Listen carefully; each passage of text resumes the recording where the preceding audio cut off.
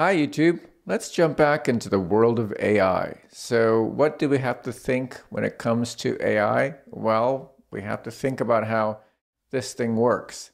I'm making things up. I don't have a fancy teleprompter. I'm doing what's called completion. How is it possible? I have an idea of what I want to tell you.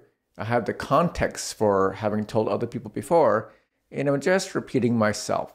That's a kind of model. You'll hear it called the text completion model. Completion is the same for Llama, Azure OpenAI, OpenAI, Hugging Face, this, that. It's a very common model. Complete, exactly, complete the sentence. The other thing to know is similarity. It was all about how two things can be similar. A lemon and a lime are similar. A lemon and a grapefruit are similar. A lemon and a hamburger are similar. Yeah, they're food. Lemon and limon are similar in letters. Lemon and I don't know another word that's spelled like that. Lemon and lime, say. There's L and M and E, kind of similar, right? Letters.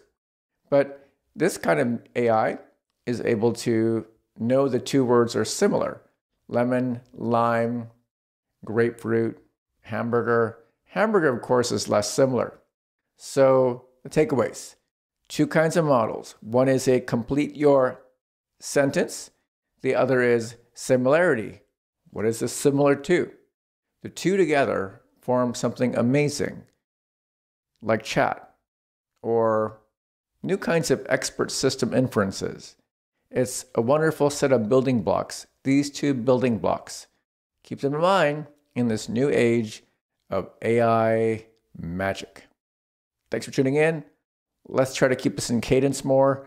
I've been taking care of my mom. My mom watches these videos. It's because she slurps her noodles like this. It's not real happy, mom. what you?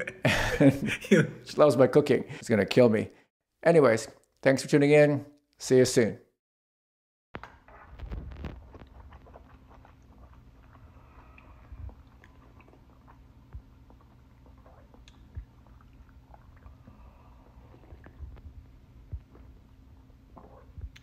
You like your Simon soup? It's delicious. you, might, you can hear my slurp.